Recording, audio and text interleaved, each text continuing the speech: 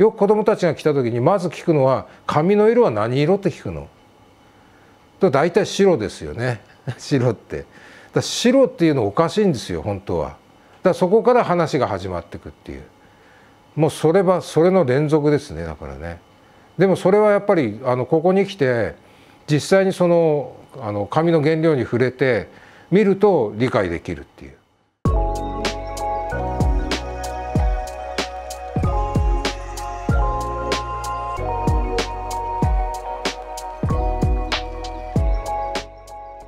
初めはですね何かこう手仕事をしたいなって思った45歳ぐらいかな。建材の商社に勤めてたんです。サラリーマンで。よくあのホテルとか泊まると旅館とかねロビーに絨毯敷いてありますよね。で繰り返しのない柄の絨毯で見たことあります？川が流れてたりとか。そういう絨毯があるんです。暖通っていう絨毯があって。でその時にその手仕事っていいなって思ったんですね。実は日本の伝統工芸って、まあ、私もあの携わってからあの分かったんですけどすごいもうガタガタなんですね。とにかくその手間がかかるものっていうのはやらなくなったっていう日本人は。でやらなくなったのはいいんだけどやらなくなったうちにできなくなったっていう和紙の技術って1300年ほど前からやってるんですね。で1300年前の和紙が今残ってるとどうなるかっていうと調査できるんです。DNA の果てまで調べられるんですね。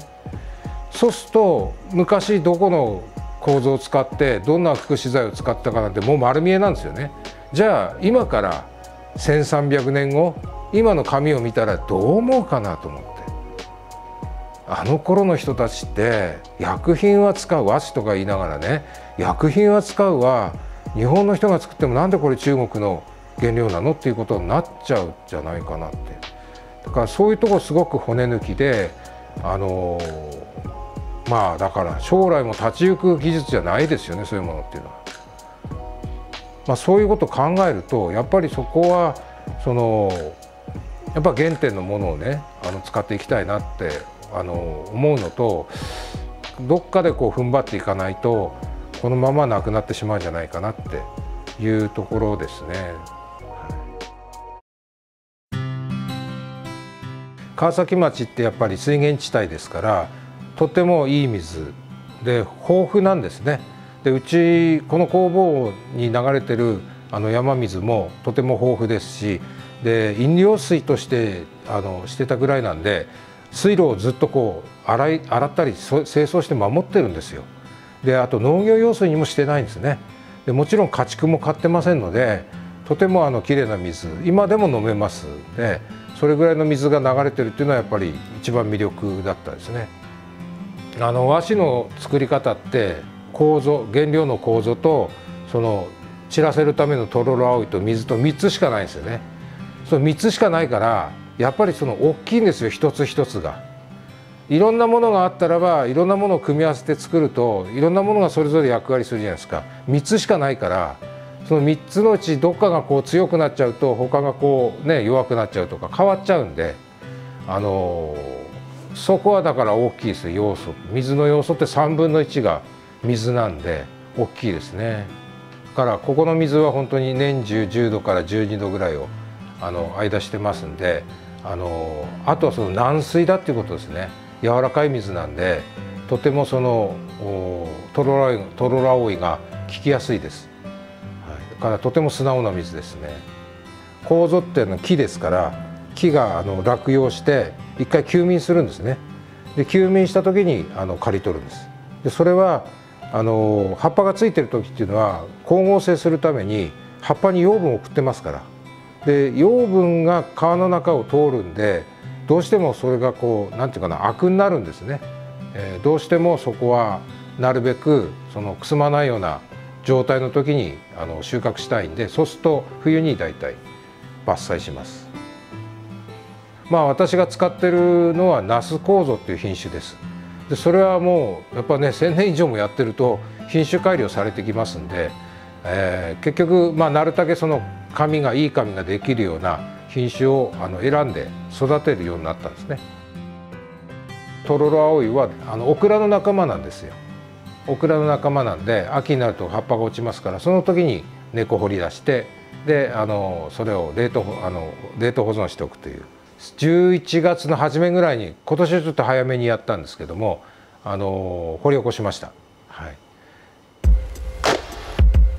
あのスクラッチみたいなもんですよねスクラッチで削るのをもうひたすらやってるようなもんで削らないと分離できないから削るんですけどまあでもそれ一番単純なことなんですね。削るっていうのが単純で何も使わないでできますんでちり取りは結局そのその名の通りちりを取るっていうそのちりを今はあの薬品で飛ばして溶かしちゃってるからあの紙の中にあるようには見えないですけどあのそれをこう分けてるっていうセパレートしちゃうっていうのが和紙の、まあ、手すき和紙の特徴ですよね。うん、まあしんどいんですけどやっぱり同じ紙を作るんだったらやっぱ綺麗で美しいもの強いものを作りたいっていうどっかで省いてもいいと思うんですけど省かないでやるっていうのはやっぱりねその日本人がずっとやってきたことなんであの続けて自分も続くそこは守っていきたいなと思うところですね。打開っていうのは打つんですね。で昔からあの機械はなかったんで小槌とかで打って繊維をこう取り出してたんですよ。まあそれを打開って言うんですけど私は公開っていうやり方なんですけど流れるプールみたいなところをあの木の皮を流してそこをあのバシャバシャと叩くんですね叩いてるんですよ。でそれはもともとあの紙すきのあの原理を中国であの発明された時にもともとその発想の中にあったことで、えー、奥さんたちが川で洗濯する時に汚れを落とすために石にこう洗濯物を打ちつけたんですってまあ打開ですよね。で打ってあの洗濯終わって持ち帰ると持ち帰ったざるの下にこうモハモハっていうものがついてたっていうそれが紙の始まりなんでいわゆる繊維くずですよね。だ繊維のくずを作るために木の皮を打ってほぐしていくんですけどもで植物ってあの植物も立派なあの生き物ですから植物繊維っていういわゆる繊維があるんですけどそれは植物の種類によって全部長さが違うんです。で構造はだいたい10ミリ1センチあるんですその10ミリをやっぱ打てば切れるじゃないですかだからなるべく打たないようにして取り出したいなというんであのビーターっていう機械を使うんです。であれは水の中をあの川木の皮が流れてでそこをこうあの金属の棒が打つんですね。でそういうことでほぐしていくんです。だから打って叩いて切るのとほぐすのは違うことで私の髪はなるべくその切らずにほぐしてだからゆるゆるですすごく。なるべくそういう打つんじゃなくてほぐして原料を用意します。どうしても構造っていうのは水の中に溶けるわけじゃないんで、えー、どうしても固まって沈んでいってしまうもんですからああいう状態になるんですね。でそこからトロロアオイを入れてそれを攪拌させるっていう。トロロアオイのとろみが構造の繊維一本一本の周りをくるむんですね。くるんだとくるむとは、ね、ぬるぬるしてますから繊維同士がくっつかないっていう。あの紙をすくっていうその原理っていうのはあの水素結合っていう原理なんですよ紙作るのに接着剤使わないんですよでそれは植物繊維同士ってくっつくくっつきたいっていうそういう性質があるんですよ。でそれを利用して作るんですね。だそれを利用して作ろうとするけども水の中に入れてもくっつきやすいからだから離さなくちゃないじゃないですか。で離れないとコタコタとあのまとまった状態になるんで薄い紙が透けないもんですからそれをその散らそうとしてトロラウを使うっていうでこれは日本人があの見つけたと思うんですね。もともとあの紙の、ね、発明っていうのは中国で発明されたんですけどもそこではトロロアオイはどうも使われてなかったみたいです。中国で発明された紙が日本に入ってくるんですけどその時にはやっぱコタコタっていう紙ですよね。ただその紙の主な目的はその時っていうのはあのお経とかね経典を書く紙ですからやっ文字を書きやすい紙の方がいいっていうんでであの日本人はそれあのなんていうかなあの鹿の角とかイノシシの牙で磨いてたんですね。で磨いて平坦にしてから字を書いたっていう。でそこからあの紙っていうのは使い始めるんですけどもやっぱそこで納得しなかったんでしょうね。1300年前。これはいかんと。いうんで他のその植物を探し出したっていうのがまあ多分ですよ私はその頃生きてるわけじゃないですけど多分正解だったんじゃないかなって思います。今は鏡の面みたいになってる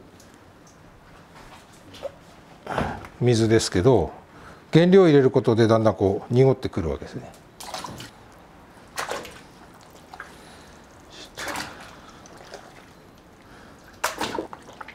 私は教わる時にはおにぎり1個っていうふうに言われて入れるんですけどうちのおにぎりはこのぐらいだったですね。そううちの師匠のおにぎりは大きいですよね。おにぎり1個入れてけさいんって言われるんですけどあとはバケツ1杯とかね。バケツでも何リッターのバケツかなんて師匠は言ってくんないわけですね。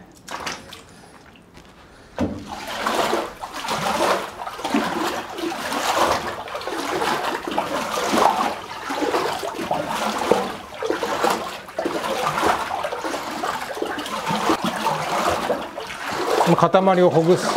ていく感じですね。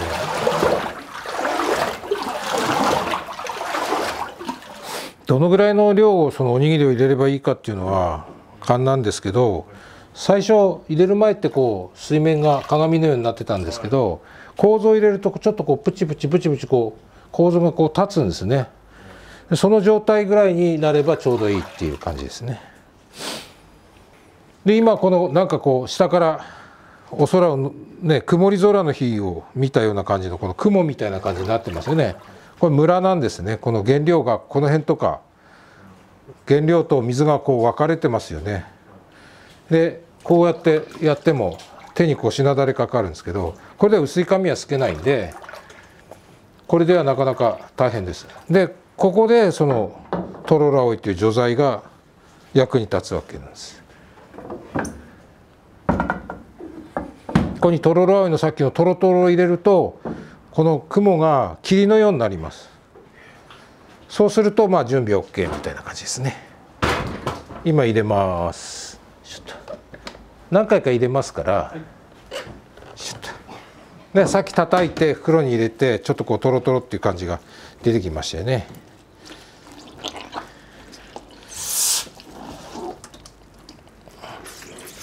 それをここで絞って。の原料の中に入れていきます。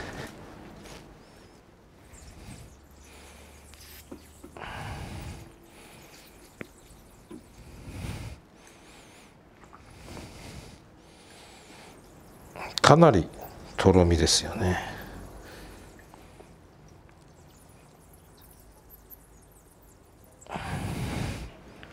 こういう感じですね。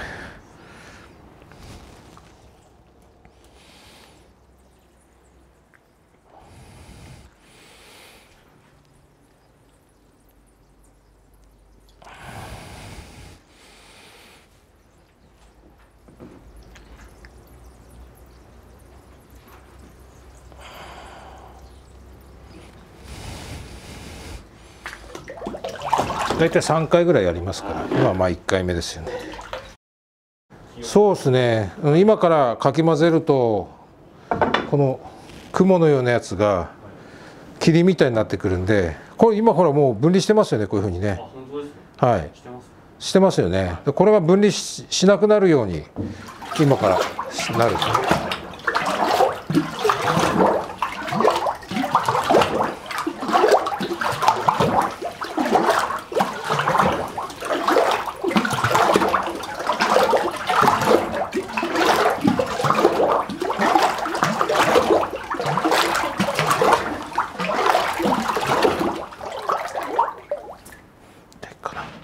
大体このぐらいでいい感じかなと。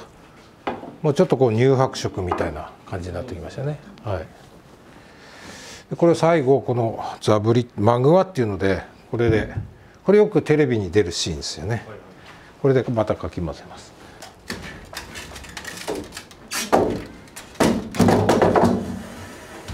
ここで仕上げですね。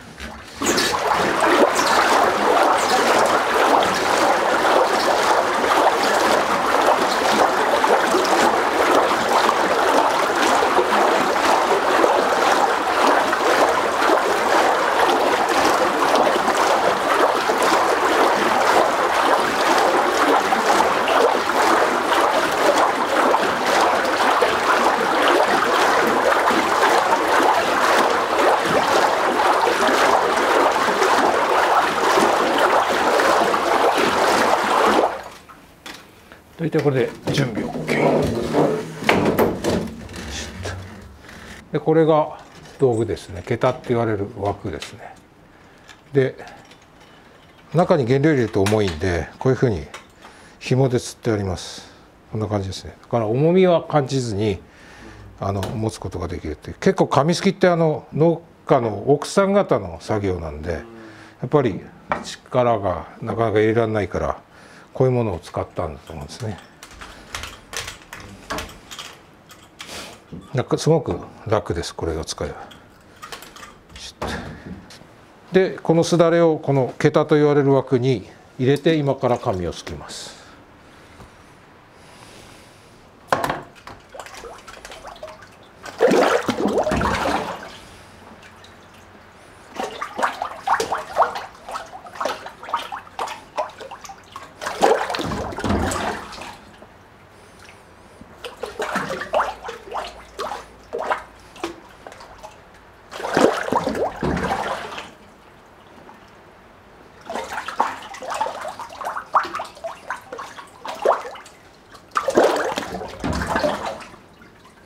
まあ、揺することでこう繊維が絡んでいくんですね。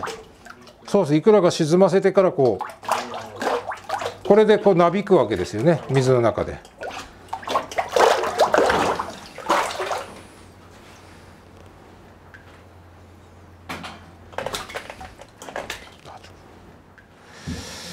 こんな感じです。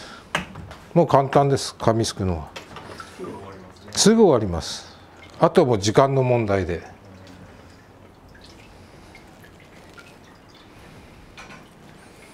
早く終わってほしいなみたいな。お腹すいたなとか言いながら。で一応私のノルマは1日100枚なんで。だから300分。5時間はやらないといけないなみたいな。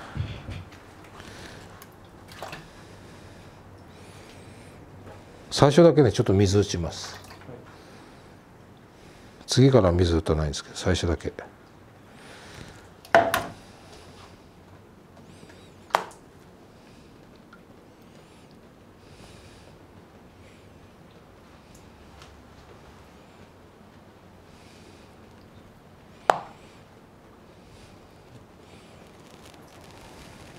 れで1枚完成ですね。